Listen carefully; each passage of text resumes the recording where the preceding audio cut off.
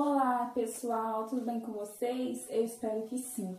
O vídeo de hoje eu trago um assunto bem polêmico, um assunto bem complicado de se lidar.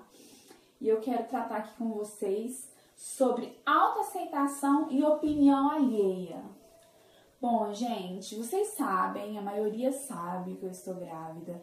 Eu estou quase completando oito meses. E esse é o meu tamanho de uma grávida de quase oito meses. Uma barriga desse tamanhozinho. Só que eu sempre fui assim. Eu sempre fui pequena. Todas as partes do meu corpo sempre foram pequenas. Então, eu não me sinto uma grávida diferente por ter uma barriga miudinha. Não me sinto. Por não engordar 10, 15, 20 quilos na gravidez. Eu me sinto normal, tanto que é minha segunda gravidez. Eu vou mostrar pra vocês a foto de um dia antes de ganhar minha primeira filha. E vocês vão ver como que eu estava. Eu estava com o rosto um pouco mais redondo, mas a barriga em si, ela era um pouco maior que minha filha nasceu com 2,885, de 38 semanas exatas. Ela não ficou muito tempo, né? Dentro da barriga.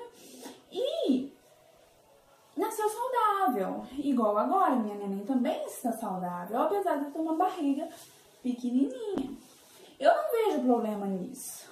Uma coisa que eu queria deixar bem claro, não para as pessoas do canal em si, porque pessoas do canal, elas, os meus amigos, minhas amigas, elas só falam coisas maravilhosas para mim.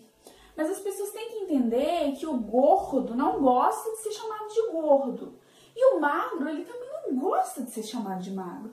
Porque não tem ninguém cego. Eu sei o jeito que eu sou. Você sabe o jeito que você é. Se você está acima do peso, você sabe disso. Alguém precisa virar para você e dizer: Olha, você está gorda, você está gordo. Não, ninguém precisa falar isso.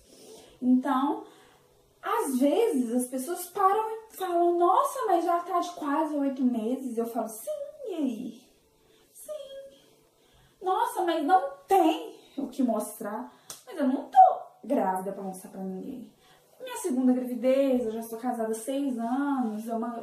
Sabe, não tem o que mostrar. Né? E as pessoas que estão enormes grávidas e enormes, nossa, eu acho lindo tenho nada contra.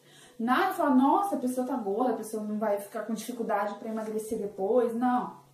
Eu sei que depois que eu ganhar a minha neném, o meu peso volta no dia seguinte praticamente. Eu fico com uma barriga murchinha assim de quando tá no início, assim, de TPM, sabe?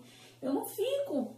Eu fico até muito magra, emagreço muito, mas eu sempre fui assim. Esse é o meu biotipo. Então, Existe sim grávida sem barriga. Vocês podem olhar as mulheres que malham, elas quase não têm barriga porque o músculo é muito forte. Então ele não distende tanto, sabe? E não significa também que o neném dela será pequeno ou que a minha neném será pequena. É o meu tipo de pessoa. E o meu é esse.